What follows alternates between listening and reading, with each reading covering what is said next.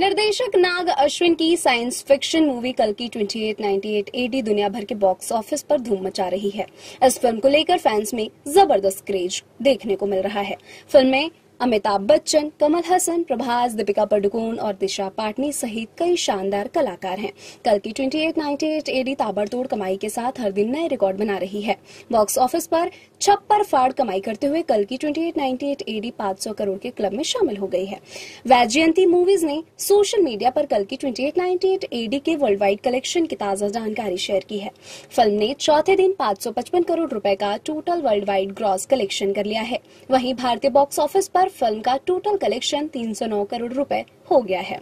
इस फ़िल्म ने दुनिया भर में पहले दिन एक करोड़, दूसरे दिन 107 करोड़, तीसरे दिन 116.5 करोड़ और चौथे दिन 140 करोड़ रुपए का ग्रॉस कलेक्शन किया।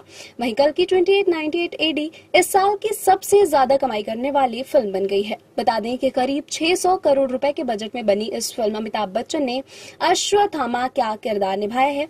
वहीं फ़िल्म में विजय देवरकोंडा, दुलकर सलमान एस एस राजमौली रामगोपाल वर्मा और मृणाल ठाकुर का कैमियो भी है।